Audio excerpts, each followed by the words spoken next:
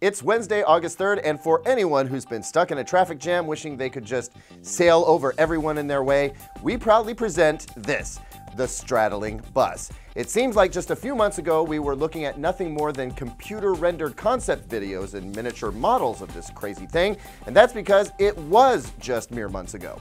We originally reported on this mass transit masterpiece in May of this year, and it's already an actual thing. Those folks in China are not messing around. And who can blame them? Traffic in the world's largest cities is growing at an untenable level, and this 1,400 passenger bus, which looks like a moving tunnel really, is a pretty clever solution.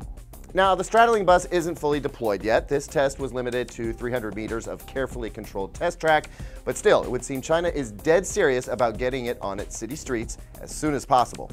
Car and bike sharing have become pretty popular in many major cities around the world, but we've just learned Berlin is the first to test scooter sharing. A Taiwanese company called Gogoro is launching the program in four Berlin neighborhoods with about 200 scooters to start. And they're electric scooters, no less. Digital Trends ran into Gogoro at CES in 2015, where we were first introduced to the company's battery swapping idea, which allows users to swap out dead batteries for fresh ones at various kiosks around a city. Gogoro launched the battery swapping program in Taipei last year, started selling the scooters for $4,100 each, and has since sold 10,000 bikes, according to PC Magazine. The scooters can apparently reach a max speed of 60 miles per hour, and they've got some decent get up and go, reaching 30 miles per hour from zero in just over four seconds. The program in Berlin is just a tester for now, but if the service takes off, we'll likely see it spread across Europe and, hopefully, across the Atlantic to the US.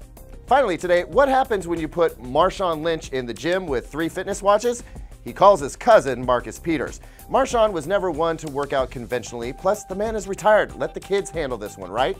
We strapped up Marcus, who was Defensive Rookie of the Year last season as cornerback for the Kansas City Chiefs, and we found out just how well these fitness trackers tracked the fitness of a hardcore pro athlete. We think you'll be interested by what we learned and definitely humored by Marshawn's antics. So check out the story at the link below and of course keep it locked on Digital Trends for all the tech news for the way you live.